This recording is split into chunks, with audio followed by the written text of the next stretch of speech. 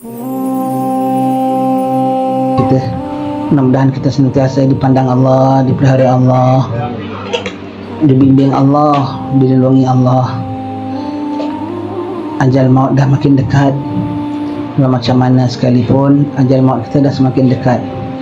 Maka setiap apa yang diberikan Allah Ta'ala peluang bagi kita kita kena rebut seberapa banyak yang mungkin. Puasa bulan puasa nak kena bikin macam-macam ibadat nak kena buat macam-macam taat. Kita syur sembahyang terawih jangan tinggal 20 rakaat. Kita cadang baca Quran dalam sembahyang. Kita cadang puasa buka yang sikit. Kita cadang banyakkan etikaf. Semua tu adalah galakan-galakan. Dan kita janganlah merasa apabila kita dinasihati dipesankan buat amal buat amal dalam hati kita berkata eh berat eh macam-macam ya berat dia berat mendampingi Allah kita bilang berat. Allah yang sayang kita Allah beri kita rezeki Allah nak janjikan kita macam-macam. Tegamak kita bilang berat Allah Allah tak ngadap Allah tu berat mati tak bawa bekalan tu berat. Kita mensia-siakan kehidupan kita selama ni berat. Bulan Ramadan penuh anugerah tapi kita main-main macam budak-budak muda itu berat itu berat. Dampingi Allah tu ringan. Sebut nama Allah ngadap Allah itulah ringan.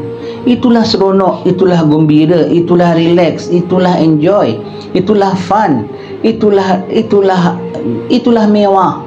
Itulah selamat sebetulnya jadi kalau kita ikut lawan nafsu kita Kalau kita dicadang untuk ibadat begini Buat jangan lupa tuan-tuan Baca Quran gitu-gitu begini Allah Kadang-kadang kita punya Suka bantah Kita bantah dalam hati kita Ya banyak eh Berat eh Oh macam-macam ya Allah. Yang kita cari dunia selama ni Satu hari berjam-jam Kita tak ingat itu berat Itu lebih berat. Ha, kita mendampingi orang-orang tertentu senang cakap terhege-hege pasal nak akan kedudukan nak akan dipandang dia itu kau tak berat kau pandang ya. Ngadap Allah Subhanahu wa taala jangan kita rasa keberatan. Jangan rasa wegah nak ngadap Allah Subhanahu wa taala. Nanti kita mati kita getun. Kita getun kalau aku dah pernah diberi peluang dan aku tak ambil. Kawan aku yang diberi peluang dan dia ambil apa dia dapat dan aku tak dapat. Kita minta nak balik dapat macam mana dia dah tak boleh lagi.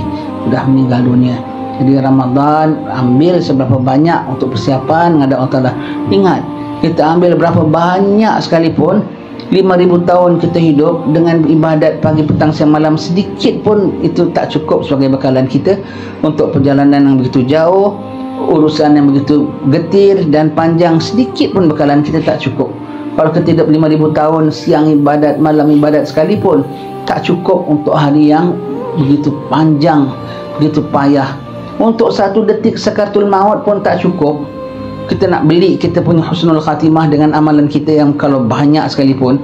Ini kan pula amalan kita adalah sedikit. Rosaknya banyak pulanya ah, kemudian perkaranya besar. Semua kita akan menghadap Tuhan kita. Mudah-mudahan Tuhan berikan kita kemudahan untuk melaksanakan segala ibadat kita dipelihara kita dalam ketakwaan dipeliharakan hati kita dulu dipeliharakan kita punya attitude dulu sikap kita. Nak tuan-tuan ya